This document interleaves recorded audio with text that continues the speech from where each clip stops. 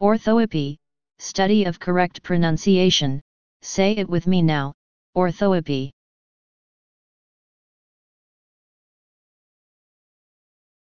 Please subscribe and thanks for watching.